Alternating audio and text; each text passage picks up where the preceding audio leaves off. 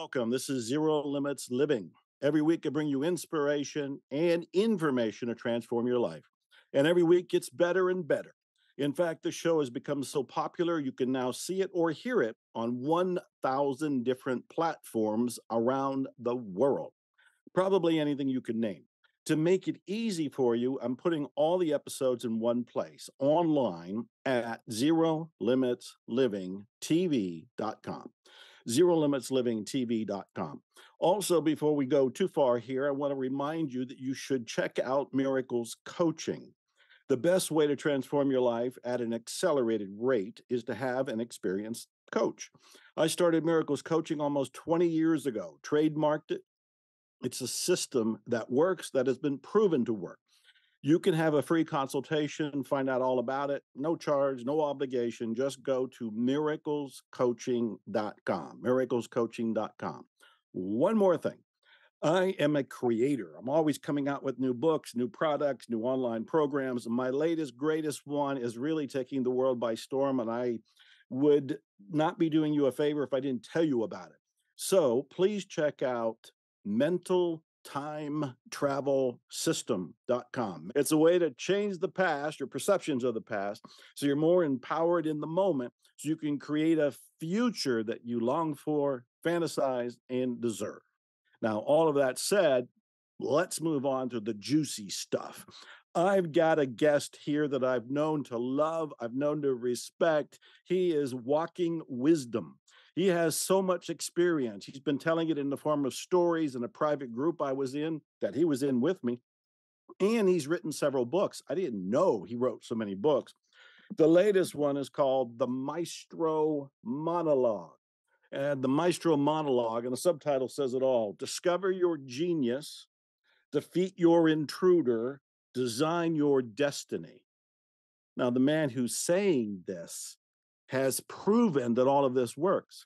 He was a school teacher for 17 years. He left it, went into the real estate business, made hundreds of millions of dollars there, wasn't satisfied, went into the restaurant business, made hundreds of millions of dollars there. And then well, we'll get more of the story here in the, the tidbits as we talk to him. He started telling the rest of us how to live a spiritual, material, successful life. I'm fascinated, and that's why he's my guest today. I'm talking about Rob White. He says he was a small town boy born on the wrong side of the tracks who made millions in the real estate and restaurant industry. Today, he's an author. I think he's written four books, and he's explaining the reality of what it means to be a human being. His newest book is the one I just held up, The Maestro Monologue. And now, Rob, come on board. well, thank you, Joe. That was great. You got you got me so excited. I was wondering who we were going to be on board with. right. Well, you know, as your position where you're at, I guess in your house there, you have about 15 halos around you. Oh. Most people, if they're lucky, get one, but there's oh, like right. three on this side, three on this side. You are you're some sort of evolutionary wonder. oh, that's, I'm looking up at that now. Thank you. anyway, con- congratulations. I've thoroughly enjoyed reading your book. There is great wisdom in this. You are a guy who's been around the block, learned from your laps around the block, and are now sharing it with others. So thank you for writing the book. Uh, I, I almost don't know where to begin, so forgive me if I just leap into the deep end in some ways. First question is Do you still have Shakespeare? I do. Shakespeare, my parrot uh, friend now of 38 years. Are yeah. you serious? Yeah. Uh, Shakespeare is still with me. And uh, I did a little research about you, and there was an article that talked about you walking around a park in an area I don't know. I, I don't know Boston. And you have a parrot that sat on your lap or on your shoulder, and you named it Shakespeare. Yeah. 38 years, you are 78 years old. I hope that's okay that I said that. Oh, absolutely. Because you are a wise man, but that means that bird has with been with you a great deal of your life. Should I be interviewing Shakespeare? Yeah, 40 years. Uh, he's been with me. Uh, what's God. interesting about life, it's a miracle how things show up. And he's a dear close friend, a mentor who's taught me patience. Uh, I was in Miami and, and a homeless person said to me, want to buy a fertile parrot egg? and he showed me an egg. And of course, I thought it was a skit. You know, maybe I'll give him money. So I said, okay, here. And I gave him $10. He said, and I walked away. He said, where are you going?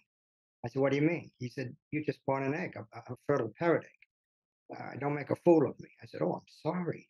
He said, take it home, put it, make a little napkin nest and put one of those lamps uh, to, and it'll hatch in another week. Well, I took it home. I was about to toss it out. And then I thought, geez, what, what if? So I did make a paper towel and a lamp. And I was reading one night and the egg started moving. I held him in my hand. He bit through the eggshell and, and bit my finger and looked at me. And here we are 38 years later. Uh, you see, life is always ready to, to gift us. Uh, yeah. And I tried to turn that down. See, I what I'm really aware of, Joe, that's powerful and different, I think, is I get this two of me. Now, when I'm talking about me, I get there's only one of us in the room ever. Uh, we're all the same. Uh, there's the maestro, which is why the maestro monologue. There is a part of me fully capable of orchestrating my life in a magnificent fashion. But then there's the unwanted mental house guest I call the intruder, the, the naysaying voice. And that voice is always with us. You don't get rid of that other self. We live in a world of polarity. We live in a world where I know we wish we could just be the maestro or whatever one would like to call that part of ourselves. Mm-hmm. Unfortunately, we signed on to a, a realm, a reality of polarity.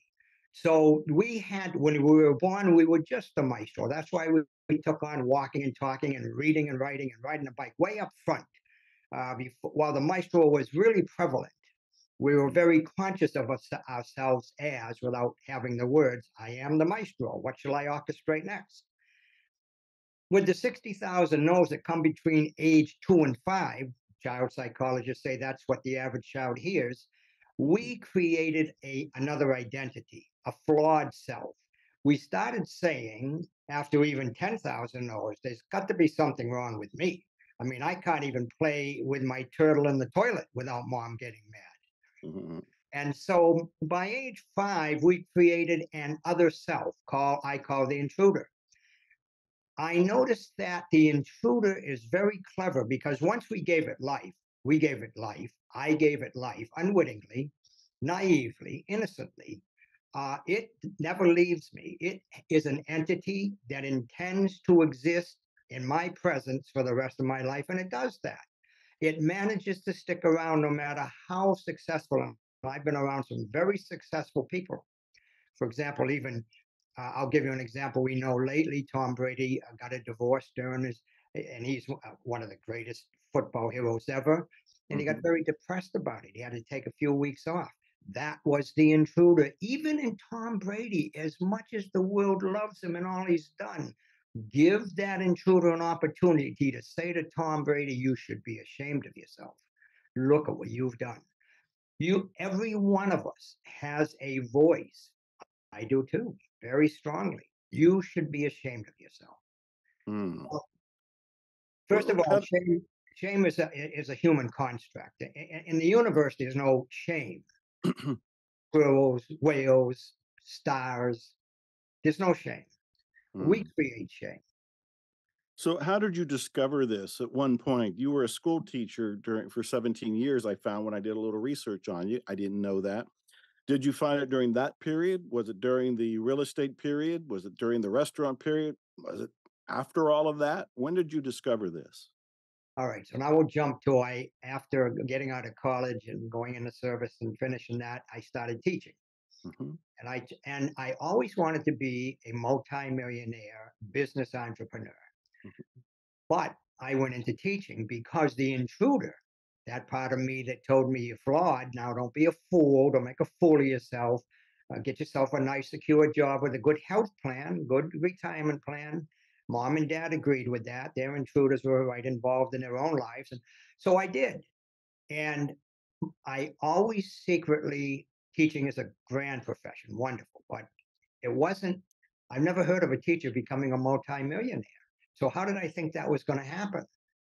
Play the lottery? What's up with me? Well, a student one year, my 16th year, 17th year, 16th year, said to me, uh, Mr. White, I want to go to this private school, but I don't think I can get in. I said, Debbie, why, why do you say you don't think you can get in? She said, Well, there's a part of me that tells me I don't deserve it. And she's the one that told me, My God, what is this part of you? I was interested in her, not me, that has you saying you you're intelligent. I get you, I get that you goof, you goof off a lot, you smoke cigarettes, you don't go to study class, you're flippant, but you got what it takes. What is this? Tell me about this part of you. Well, I get that life was helping. She was a mentor. She was an unassuming guru who had come before me. I helped her to see that it, what if you were to go to study class in a library? Um, what if you were to stop hanging out front with your friends smoking cigarettes and, and, and came in and got extra tutoring? Uh, what if you did that? I mean, just what if? What if you didn't let that part of you you're talking about make your decisions for you? Now, mm. when I was saying this, I was discovering something about me while she paid attention to me. Here's the part, Joe, I want you to get. The next year, I'm looking through the roster. Oh, I wonder where Debbie is. Oh, she got into that private school. I sat there and said, Oh my God, I taught Debbie what I have to teach myself. I have to get out into life. If I'm going to get into that world called entrepreneur millionaire, I've got to stop hiding behind a very cushy, secure job. So I went into my principal and said, This is my last year. He said, What are you crazy? Retirement? And 17 years. And three more years, you can retire with a limited income. What are you out of your mind? I went to my father. Here's what my dad said You don't need a psychiatrist, you need a team of psychiatrists. You're crazy. So thanks, Dad. The, yeah, well, thanks, Dad. That's exactly what I wanted to hear. But my point to you is because of Debbie, I did leave. I left. Uh, I left the school at the end of the year. I didn't just drop it, and and um, said, "This is it for me." And I was walking on Huntington Avenue in Boston. Now, here's something you don't know, Joe what am I going to make a million dollars in? I don't know what I'm going to make a million dollars in. What am I doing? Am I crazy? There's the intruder coming back. You know what? See, you know what you did, you idiot. You should be ashamed of yourself. Oh my God, can I get my job back? Oh, I better run in and see. No, let's just keep going. Let's see what happens. Walking down Huntington Avenue, that's a big avenue in Boston. I look down, there's a book, Joe. Oh, brand new book, face down. Who doesn't pick up a brand new book face down? Picked it up, how to Get Rich in Real Estate by Robert Kent. Are you serious? This book was laying on the street? Yeah, brand new, never opened. Uh, How to Get Rich in Real Estate by Robert Kent. I mean, a sign, you're talking a sign here? Right, right. I took the book, I took the book to my apartment. I was renting back then still, absorbed it, read it, read it, did what it told me to do.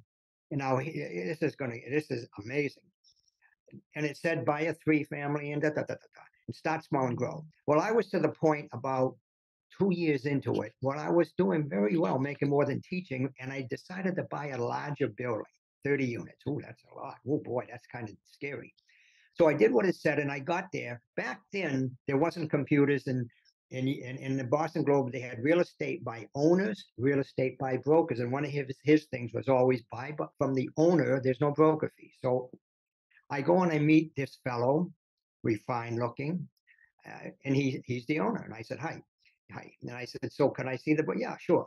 So I got my book, see, and I'm checking off. He says, what do you got there? I said, oh, my book. He said, what's that? I said, that's my Bible for getting rich in real estate. He said, let me see it. Oh, by Robert Kent. Yeah. He says, would you like to get his autograph? I said, are you serious? Pulls out a pen. He signs it. He was Robert Kent. Oh. he then walked me down to the Brookline Savings Bank uh, because I, I don't think I can get a mortgage. I haven't got enough property. It's a big piece of property, very wealthy neighborhood. And he knew them down there. He knew them well. He recommended me. They gave me a mortgage. Yep, Robert Kent, How to Get Rich in Real Estate. That's that's when I got if I trust the maestro, if I really believe the maestro is available 24 7, if I'm willing to uh, pay attention to that other me that doesn't scream nay in my head, That's the miracle maker. That's the one you love the word miracles. That's the one that's attracting miracles constantly, constantly, constantly. Mm-hmm. So that's how I got on. That's how I began my venture. Yeah. That is, you got chills going up and down my spine, Rob. That is an amazing story, which I've not heard before. You, you have, uh, I think, first of all, right now, people are jealous of you. You walk down the street and a book that transforms your life is brand new, face down on the ground. You don't even have to buy the darn uh-huh. thing. You just have to pick it up. Yeah. Now, here's the important thing though. Because I think we all have guardian angels. Yours are yours manipulate reality a little better than most people's by throwing a book on the street. But here's the thing: your intruder was still with you. You oh, didn't yeah. have anybody when you picked up that book. In fact, you didn't have anybody when you left the school and you left your job. How did you wrestle with that we'll call it the devil because napoleon hill had that book outwitting the devil in many ways he's referring to an intruder. How did you wrestle with the intruder during the time that you didn't have a mentor and right before picking up the book? And thank you that's a great question. I got the intruder as clever and he can show up at the slightest bump and, and and have me worrying about things so what I did is I started talking to him like this. Oh, you're good. I'd say to him, Oh, you're good. You're starting to convince me I made a big mistake here, but I got news for you. I'm going to refer to the to the maestro. Uh, I appreciate you interrupting uh, my conversation with the maestro. I get you're trying to help me out, but I'm going to let it go. So I started. Don't get angry. Here's something I learned. Joe, don't get angry at the intruder or you give it life. If you say, darn it, I did it again, or damn it, or I'm really embarrassed, you are giving life to the, that's his juice. That's mm-hmm. his juice. Because he'll say, see, I told you so. Now pay attention to me. Be more conservative. Don't take risks. What's wrong with you? Now look at you, you idiot. So I learned the only way I can confront the, because I'm never going to get rid of the intruder. He's an identity that I firmly implanted in my, my consciousness, and it's there till the day I die. But the way I deal with it is be nice to it and I praise it. Oh, you're clever. Wow, you're good. And and so that's how I'm able to develop a profound relationship with the maestro, which is what we have to do. Now, I'll tell you another one who taught me that. I actually, W. Clement Stone was a student of Napoleon Hill, and he had written a book, and the name of the book I forget, and I bought the book and I went right in Brookline Village, which is about two miles from me. There was he owned Combined Insurance Company of, of America, and once every month he'd show up at the world headquarters, which happened to be he moved it from Chicago to uh, Brookline Village. He'd have a paper bag lunch free seminar. And he started talking about which I am is sitting here listening to me because there's two of you, and one of them will pretend you're it, it's interested in what I have to say, but it's not. And he said, and I'll tell you the one, those of you, I can look and see which of you, which one, he didn't have the word intruder. He just said the other I am. There's two I ams. The I am you are, and if you're here being that authentic I am, I've got something to help you. If you're being the other I am, pretending to be the authentic I am, you don't even know you're pretending. And he said, I'm going to tell you which ones you are. It's the ones that are already looking at your watch, whispering over here to this one. Uh, and I just want you to know you're wasting your time. And I don't mind if you sit here, but the, I'm going to use my word, the intruder is taking the uh, paperback lunch seminar you want. And it will convince you it's paying attention and it's going to do something with it. Oh, it's clever. But that's the many people I've met, Joe, and I've met many who said, You've made millions. I've read a lot of books and, and none of them have done anything for me. And I've said to them, Joe, that's because you haven't read the books, not the authentic you, not the maestro, not maestro me you. Intruder me you has read them. When you read them, you were always thinking, yeah, but, or yeah, only if. And, and, and when you hear that conversation going on in the back of your mind, no, that's intruder you, it will jump in and it'll read a thousand self-help books. It will do whatever you want to do as long as it convinces you not to grow, not to expand, because that's when you shrink it out of existence. So yeah, that's a big one, Joe. Uh, that's another great story. I didn't know that you had uh, been in a seminar with W. Clement Stone. He, in many ways, saved Napoleon Hill's butt yeah. when Napoleon Hill was struggling after divorces and things like that at one point. So I'm impressed with that. Also impressed with what W. Clement Stone, Stone told you about these two selves. The thing that I'm hearing is that you seem to be more familiar with the intruder than with the maestro. And I, I it could just be oh. based on the, the stories you've told so far. But how did you become more familiar with the part that you ended up trusting? Because I yeah. think everybody listening or watching right now, we want them to be aware of the intruder, but we want them to be aware of the maestro and listen to the maestro. So, how did you learn to hear and recognize, oh, this is the one I want to pay attention to, not the intruder? I had to establish a profound relationship with forgetting. So, what I got was I'm real good at forgetting the authentic me, the maestro. So, I had to put reminders in place. So, back then, there weren't cell phones on my on my uh, mirror uh, with I am I, I had been saying I had come up with the word maestro a long time before I put it in the book. On my mirror in, in the in the bathroom, I am the maestro. So when I got up in the morning, I reminded myself in my wallet back then when I when I put out my credit card on a card in my wallet, I am the maestro. I had to have a proof, but here's what I want you to get. Until you get that part of being a human being is forgetting.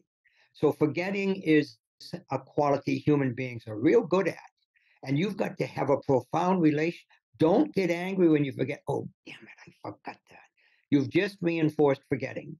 Anytime you're angry and push against something you don't want, you've given more power to that that you don't want. So, what I do when I forget is when I find myself, even today, if someone agitates me and I see the intruder showing up and dominating them, I will say to myself, "Oh, I forgot. I'm I'm the maestro. Now, how would the maestro handle this?" And then I will, you know, here's something too. You, I'm willing to be embarrassed.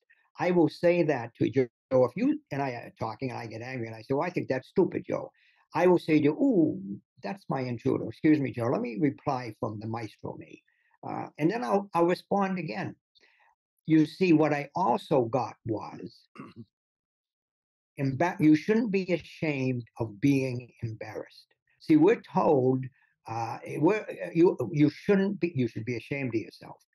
You shouldn't be ashamed of yourself or anything. You should be have a profound relationship with failing and not doing what was accurate, but never be ashamed of yourself. And if you're embarrassed, I remember when I was in Little League, and I wasn't a very, I wasn't a very good baseball player, and I was swinging out, and then I was up, and and I, you got to get a hit, got to get on first. We're going to lose. And I swung, I, I swung out. I don't even think the ball got over the plate before I had swung the bat. I was so anxious. And I said to my grandfather, crying, I'm so embarrassed. And he said to me, You see that squirrel up there? I said, Yeah. There was a, on the, yeah. That squirrel has done 20 stupid things today, and he's never embarrassed. He's never embarrassed. Why are you embarrassed? Why, why are you embarrassed? And he and, and he kept saying me, I don't get this embarrassed. Uh, you swung out. What what is that supposed to mean? What are you ashamed of yourself? Are you ashamed? Where did you get? So my grandfather, who was a wonderful old, who lived to 99. I plan to live to 99. I'm 78. I got 21 years left. Um, he he was an interesting coot. Uh, and he got that embarrassment and shame. A huge, they come. He said, they come from here. They come from conversation. They don't exist in reality. There's no, there's no, there's no fox out there. There's no lion out there, and they make some pretty stupid mistakes sometimes. Where you know, a cat or a dog. He said what they do is they take a look at what they did, and they figure out what to do to improve it. They don't spend time being embarrassed. Well, the intruder's favorite feelings are being embarrassed, having you feeling ashamed of yourself, feeling guilty and my grandfather helped me on the road to, oh, now that doesn't mean you should continue to do what you did if it doesn't work in life. But you got to have a, pro- now I'm saying what I say, a profound relationship with forgetting who you are so you can constantly remind yourself, oh, I'm the maestro. What am I doing now? Responding like the intruder. And then a profound relationship with failure so you get error is correcting errors are the only way to getting to where I wanted to go. No one has ever just said, I'm going to be a millionaire in real estate, woke up and said, There you go, I'm a millionaire in real estate. Uh, no one has ever said, I'm going to, I'm going to walk. And we've all said, I'm going to walk and just got up and here I am walking, mom, look at me. When we were just the maestro learning to walk, we got intuitively that walking meant we were going to trip and fall over ourselves continually. And we were never embarrassed. We weren't ashamed of ourselves. We just took a look at what we did and said, wow, that didn't work. I guess you can't step on one toe while you're trying to lift the other toe. I'll have to try something else out. No, this is all intuitively. So, profound relationship with self, the maestro, profound relationship with forgetting that you're the maestro, a profound relationship with error, feeling that you might correct your errors, and then a profound relationship with succeeding, which means once I bought a three fam, I got to refine the way I I work my my real estate industry and buying another one, work with my tenants, hiring people. I have to refine it. So it isn't success, bip, here it is. It's success and refining success so that it becomes success with accelerating acceleration. And that's mm. when my millions became tens, became hundreds. Yeah. Fascinating. Absolutely fascinating. You had a a guardian angel in the form of a grandfather who helped you. And I'm curious, was there anybody who helped you with the real estate? Was there a mentor? Was there somebody who inspired you? Somebody that you went to for questions? Somebody who groomed you? Somebody who mentored you? We're talking about the inside with the maestro and the intruder, but with a comment like your grandfather helping you, it can't help but wonder was there one or more people who helped you with the real estate? Yes, I think that there are so many everyday, ordinary, unassuming gurus out there. Eddie Zook, a dear friend of mine, billionaire uh, in real estate, uh, back 35 years ago or so, uh, he was very prominent in the town of Boston and Brook, city of Boston, town of Brookline, owned a lot of real estate. He was worth a couple of hundred million back then, and I want, and he was my age. How can that be? So I've got to meet this guy. You're not going to meet him. He doesn't want to meet you. There's the intruder, right? What are you mm-hmm. doing? You know, he's in another league. What are you going to pester him? So, yeah, what, what's wrong with you? Like that. There's my intruder. Well, I knew where his office was, so I started uh, stalking him. Like I walked by and oh, and I actually could see the window. Oh, that's his. There he is. Oh my God, because he was in the paper all the time. So I decided I'm just going to go in because my grandfather would say, "Go ahead in," and just say, "I'd like to introduce myself. I'd love to talk with you." And if he says, "Get out," who do you think you are? Uh, my grandfather said, "So you get out and, and, don't be embarrassed. So what? You went in and, and he said, "Get out." That's, and so I said, "I'll go in like that." He didn't. He said, "Wow." He said, "So are you getting in real?" I said, "I'm I'm I'm I'm starting and I'm doing pretty good." But I really would like someone to give me some tips or something, and I, and I'd be willing to do something in return. I'm not even sure what it is. He said, um, Do you play racquetball? And I do. See, this is what things. I said, Yeah. Are you any good? And I was. I said, Yeah. I'll tell you what. You give me racquetball uh, lessons, and uh, I'll give you a real estate tutoring. See, uh, and that's. it, it, but what what makes this work, Joe, is don't be embarrassed. I've met many many famous and, and, and rich people, I basically approach them. And I found every one of them, if you're not, if you're nervous around them, they don't want to be around you because you're making them nervous. If mm-hmm. you show up just curious about their qualities and skills and how they've used them, and they can see it in your eyes, and you ask with a sincerity, geez, I'm just really happy to have met you. I don't even know if there's anything more I can say. I just want to say that. They say, sit down. Right. So what do you do? So, and it's because I'm willing to be embarrassed because embarrassed is it doesn't exist as a as as an, in reality. It only exists in human psychology. There you go. Hmm. Ashamed of myself, guilty, embarrassed only exist in human psychology. And if you can get a grip on that and know the intruder uses those as leverage to totally control your life. Uh, my dad, uh, my dad was a mill worker and died a mill worker and always was angry because he always felt he'd never attained what he wanted in any area of his life. I didn't know this stuff back then. I don't think he would have listened to me. But I get now looking at dad, and I loved him, although we were distant. Um, the intruder had a full grip over him constantly. Mm. He, my father, found something wrong with everything. Uh, that's Mm. the intruder. Uh, my father didn't know there's a part of him that actually sees something right in everything. Uh, that's that's the maestro. Mm. Yeah. This You is know, beautiful. I, I'm curious too, Rob. Did you have to make peace with money? I know that you had 17 years of being a school teacher, so you were dreaming about being a millionaire, multimillionaire. But a lot of people that go into business, I have seen, have a subconscious disdain for money because on some level they think it's bad, they think it's evil. Did you wrestle with any of that, or were you just like, bring it on? uh, Eddie Zucker, the billionaire friend of mine, and I had a conversation about money, and he told me that the money is the root of all good. And I thought, wait a minute, uh, money is the root of all evil, or love of money is the root of all good. Love of money is the root of all all evil. He said, well, I give uh, millions to, and he told me his favorite charities. And if I didn't make millions, I couldn't give those millions. Mm, And he said, so, eh, so his his his uh, conversation was something I had never heard before. My family came from uh, the love of money is the root of all evil, and most people who my father believed if you had a lot of money, you either born into it or you're in the mafia. I mean, that's pretty much it for my father. Uh, as a matter of fact, when I uh, did make a lot of money, my father said to me, uh, "Oh, "What are you in the mafia?" And he was half kidding because he, he and the, the his intruder didn't see any way. You're a kid from a small mill town here. How did you? And why did you quit school? And what's going on? Uh, You know, what are you in? Are you selling drugs or something? What's going on here? See, he couldn't comprehend it. My father was so caught, uh, Joe, that you're frozen right now. Is the video okay? Uh, I yeah, I'm. I can see oh, you you and go. hear you just Oh, fine. Okay.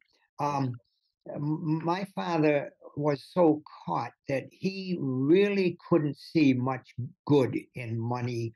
He thought rich people were uh, cheap, evil, uh, ang- uh, whatever he thought. I don't know what he thought. I, am not him. Mhm. Eddie Zucker was is one of the most easy. I'm not here to sell Eddie Zucker, uh, you know, but one of the easiest going, loving, kindest people you'd ever meet. And so um, he again, when it came to money, had me realize, wow. And then the other thing that happened is I went to New Orleans to a New Orleans Jazz Festival, and I met a preacher down there. I forget his name now, big guy. Oh, And was he that Reverend Ike? yeah, Reverend Ike. Reverend Ike, yes. Yeah, and he had all kinds of gold jewelry and everything on, and he was a preacher of Jesus and a good one. And he used to say, "I loves money, and money loves me." I thought after that, I mean, it's got to be okay.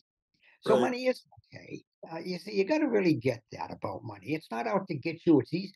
Here's another thing I get now, Joe. There were trillions of dollars out there.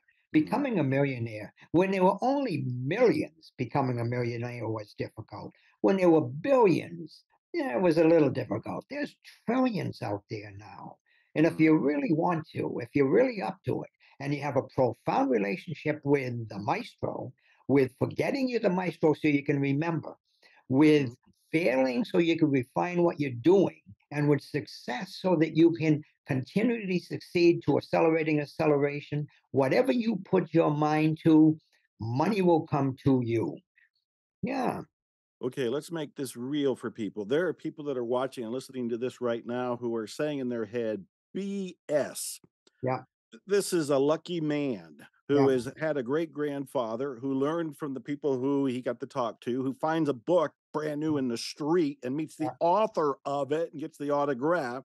It sounds like you got a blessed life Yeah. and everything's just falling into place here. So for the people who are they're listening to their intruder and they're going to shut this down unless we create an opening. How do we Mm. create an opening? How can we help the people watching or listening right now? That's a beauty. And First of all, you have to trust. You you uh, you know the intruder will not trust anything I'm saying. And if you're not, the first thing I want you to get right now, if you're thinking, oh, this guy's just lucky, and then he's pretending like we can all do it. You know, he could probably play the lottery and have won that billion dollar. Look at him. it isn't really i didn't i gave you the, the the leaps over the high hurdles there were a lot of things i did that were that caused me a lot of pain and grief and fear i caused myself the pain and grief and fear i they were just things i did one thing that helped me is when i used to okay once when i was about 25 i went to vegas with a friend bob and I lost three thousand dollars. And I'm going to tell you something. I was so angry and so upset that for the next six months, uh, I mean, I had a knot in my stomach. I wanted to, mm. I don't know what I wanted. Something bad to to to somebody, something. I didn't know what I wanted. That's before I had money. And that's when I got all by myself. I'm killing myself here over money. Wow. But now, I mean, here I want to be a millionaire. And now here I am hating my life and hating myself and hating that Vegas uh, card shark was what I call him. He wasn't a card shark.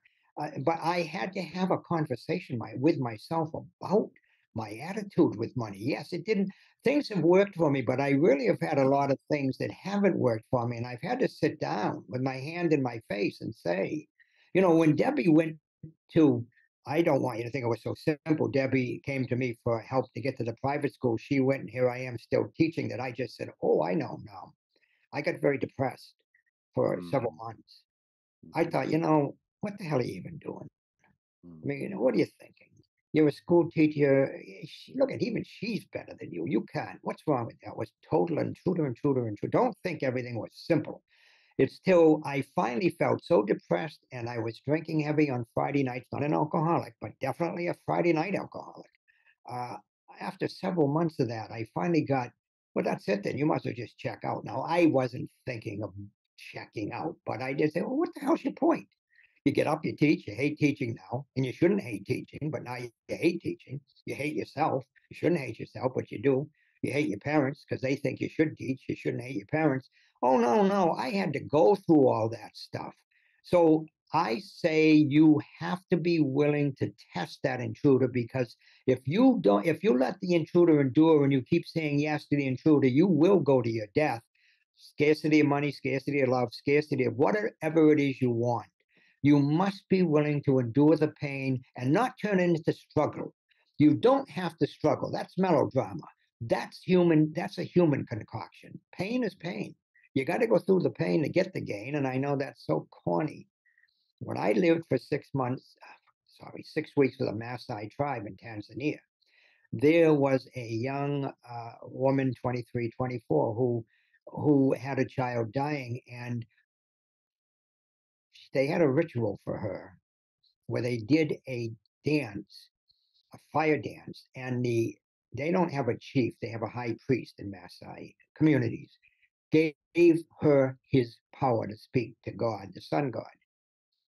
And by four, they started about 10 at night, and by four in the morning, she shook and writhed and danced with such beautiful magnificence and grace and beauty. And she she'd got that she thought she'd got to be the, the maestro from her, her her the priest. What she did get is she finally let go of the intruder that had her so distraught she's losing her small child because the next day she was going to uh, do a ceremony and ask the sun god, son of life, to take the uh, life spirit from her little six month old infant so it would suffer no more. And it was dying. Flies were gathering. But what I saw, so for anybody listening here, here's, here's, here's a woman, a young woman with a dying child where nothing's going right and and and her mentor was the priest who came to her and said, "I'm going to give you my power." Now I call it giving, really allowing her to access her power as the maestro. The next day, Joe, she went to. I watched from behind, given permission, and I had a, a uh, somebody, a translator, because I would never have known any of this going on. I had hired a translator to be there with me, and she made a nest and she waited for the uh, sun to rise and as the sun rose, she started chanting that she wanted the sun god to take the life spirit from the infant that it would suffer no more. Sanna wana yana wayo And she kept chanting that. And the sun was rising above the thicket of the bushes early in the morning, five.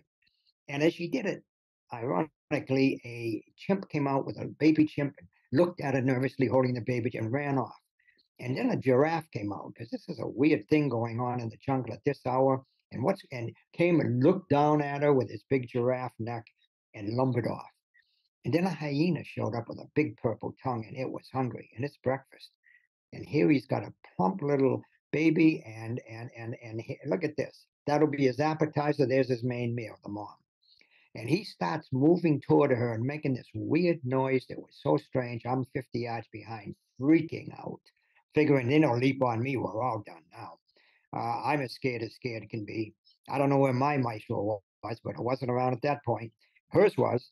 She ignored him, and she kept chanting to the sun god with her hands uh, palms up, baby in a little bush nest she made, and her kneeling next to the baby. Son, no one yana way yo.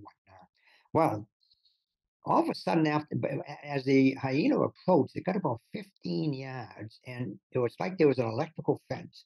Every time he started to move forward, he jerked back. He'd start to move, move forward, he jerked back, and she didn't even acknowledge he existed. And then the sun did come up and come over the and was coming like fingertips along the meadow where the baby was as it as it shined on the baby. This is no exaggeration. The baby's little belly went up, the belly went down, and the baby's belly didn't go up again. The sun god granted her her wish and took the, the life spirit from the mm. physical mm. form. And she looked down and she grabbed, she took a baby and she held it to her face and hugged the baby, kissed the baby's forehead, looked up at the sun and and and acknowledged the sun, bowed to the sun, thank you, put it back down. Now I want you to understand in, in Masai belief system, when the spirit leaves the form, the form is flesh for the other animals because they eat the other animals. And how selfish of us not to give our flesh form to them when our mm. spirit is gone. So I do want you to understand that. Her baby wasn't there anymore, just flesh. She then looked over at the at the uh, at the hyena, and she bowed, thanking the hyena for its patience. And then she turned around, turned her back on the hyena, and the hyena was just uh, shaking like a German shepherd with a steak in front of it, but hasn't been told again half it yet. She walked about 20 yards away and she put her hand in the air and she went, whoop, and the hyena snatched the baby and ran away. But the story I'm trying to get to is that's when I got, my God, we all have it. We all are the maestro. This woman, you think she's primitive? She's she's a goddess. She orchestrated the in, entire universe. It was like a Disney film. I mean, how could you, how could she do this? Yeah. Mm. So that's it. That so is amazing. that's a hypnotic story that is unforgettable. Um, I need to know why you got into the restaurant business. You did really well with the real estate, and you may still be doing that, but you moved into restaurant. And you may not know that I've had restaurant clients, and I spoke uh, 15 years ago to one of the restaurant conventions where all the people that own restaurants come in to learn about marketing. And I was telling them how to barnumize their business. And the thing I remember is how little margin of profit there is in most restaurants. Mm you went on to create some sort of mega success and make hundreds of millions of dollars in the restaurant business. First, why the restaurant business?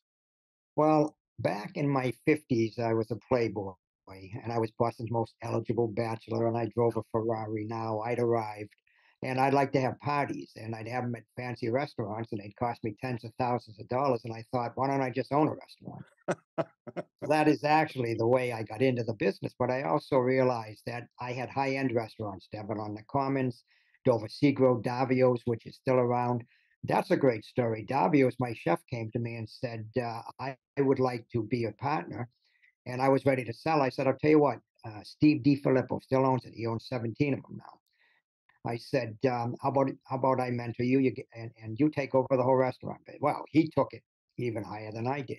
But my point to you is, I got that if you're going to make a lot of money in the restaurant business, you've got to have people always feeling good about themselves. I don't care, even if the meal's terrible. If they if it's a terrible meal and they feel good about themselves, they forgive you. And I had wonderful chefs and everything, and I had high end restaurants. But that's the first thing I made it clear to every every one of my staff members, especially the um, the, the wait staff. Well, I had a, a I had a waiter, a young a young man. He was six six. He made over a half a million dollars a year in tips at my Devon on the Commons. He was handsome. He was every. He was charming. But every time he asked you what you wanted, he'd get down on his knees so he was eye to eye to you. He didn't stand up here looking down at you. He he looked down on his knees. And when you gave him your credit card to pay, he always looked at the name and said, Well, thank you, John. I really enjoyed serving you. My God, they thought he was, he made so much money just being nice to people. So I made a lot of money in the restaurant business, serving excellent food and being really nice to all my clients. Yeah. That That's is beautiful. Yeah. That is beautiful. Now, this is the point in my interviews where I get very frustrated because I'm very engaged. I have lots of questions, but we're down to the wire in terms of time. Yeah. So I think what I'm going to do is ask you a couple more rapid fire questions. And they're things like based on all of your experience, which is phenomenal. This is very rare to have this experience in all these different categories and all the insights that you're sharing and the books that you're writing. What do you want people to to really know? Definitely they want to recognize the intruder and the difference with the maestro. But if you went a step beyond that, what do you want them to know? What do you want them to do? What's the biggest takeaways you can give people watching or listening right now? I mean, if I just say it spontaneously and not be clever, and I don't want to be, I want you to know life loves you. I mean, mm. you know what? Life loves you being alive. And mm. when, and that's if you can just get that and mm. and also i want you to get this you're here to to feel your aliveness. You know whatever that is that's when you and life are in a dance together that is so much fun. I still jump out of airplanes at 78 because i feel so I, I skydive at 78 i feel so alive. And so and that's when life applauds me and that's when i applaud life so if you if you're willing to just get that you are children got it until we knocked it out of them. Obviously, that's when the intruder showed up. You're not here to mm-hmm. you're here to work hard and make it through life. Yeah, that's it. That's simple. I, I, love the phrase "feel your aliveness." Yeah. Feel your aliveness. There, there's that's a book. That's a song. That's a something. That just remembering the phrase "feel your aliveness." What's next for you? You've got twenty to thirty more years to go here. What What are you most excited about that you're going to be doing next? Um, my first epic was teaching. The second was real estate. The third was restaurants. The fourth is author, and now the fifth is philosopher. I, ah. I love. Uh, I'm a philosopher, mm-hmm. investigating deeper into the nature of reality, the nature of humanity. I just, mm. I just love that. That's it. I love, love, love it. I meet people who are philosophers in colleges and talk with them about Heidegger and other incredible philosophers. And it's funny, but what turns me on from back in my 50s, it was it was uh, Ferraris and uh, looking good and and and uh, being famous and uh, even being a womanizer. Uh, now, I just love getting up and really just studying life in general, just taking a look. I was watching a squirrel today scoot up and down the tree with its little acorns. I spent 10 minutes just watching the squirrel. I was in delight. I mean, it was so efficient and effective with what it was doing. Right. That, yeah. So that's it. Yeah. Well, I wonder what the philosophy of a squirrel is. You know, just get yeah. the nuts. I uh, I lived in a country estate for a long time, and there was a squirrel that was very overweight and he would not go after nuts. He actually came up to me when I'd be on the porch having a cigar, and he'd look at me like, I ain't going to get the nuts. Why don't you give me an apple?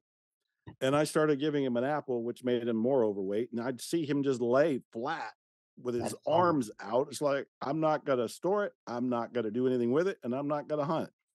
It was the philosophy of that squirrel, which kind of implies the squirrel has free will. Do you think we have free will? I do. I think your I am is your will to power. Uh, you must start with I am. Present tense, right? Uh, present tense, uh, personal noun. I am is how we are powerful. It's the will to power our lives to be the way we want them to be. And it mm. starts with, and I mean this, and I don't want to sound like a school teacher. I am the maestro. My God, don't let that go. That is it, man. And from there, what do you intend to do with it? So. I'm a millionaire was a feeling I had before I was a millionaire. I am a very successful, uh, popular entrepreneur in the restaurant industry. Was the feeling I had before I was. Mm. I am. Mm. I am an author. It's a feeling I had before, and I've had a couple of books that have done pretty darn good. And I'm a philosopher. So the I am shows up before the physical experience. And there's your power to will. And I think we all have that power. I don't think I know.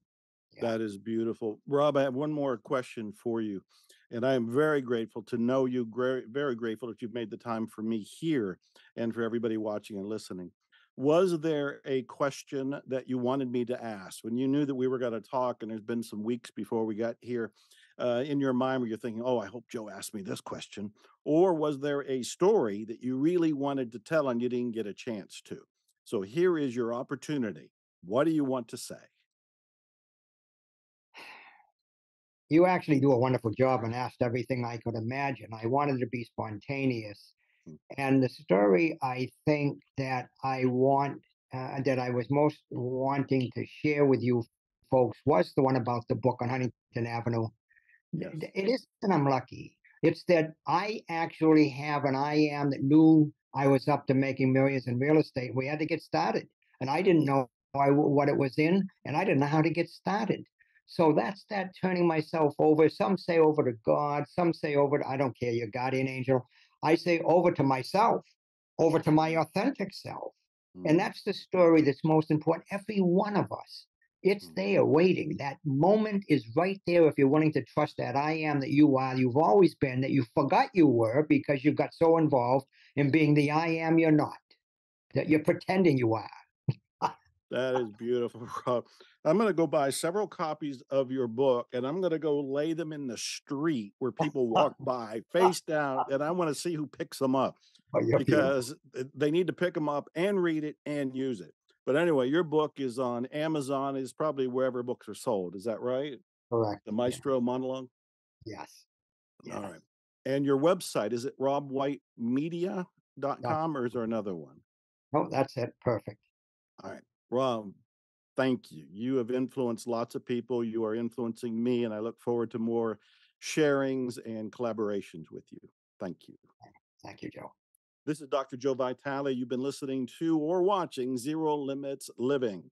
Every week, I bring you inspiration and information to change your life. And this one, please take note, listen to it, rewatch it, and be aware of your intruder and listen to your maestro and go get Rob's book, The Maestro Monologue. Remember, I'm putting all of these episodes in one place, zerolimitslivingtv.com. Remember, go claim your Miracles Coaching consultation. Go to miraclescoaching.com. And I thank all of you for spending your time here. You are the light workers of the world. Expect miracles. Thanks.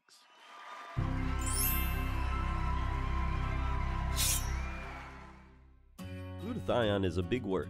It's the body's own master antioxidant. It's a scavenger for free radical, bacteria, and viruses. There are no products in the market with the ingredient Nasset. Nasset increases the production of glutathione that's in our body already to strengthen and enhance our immune system, elevate sense of well-being, support muscle strength and endurance, cognitive function, and liver support.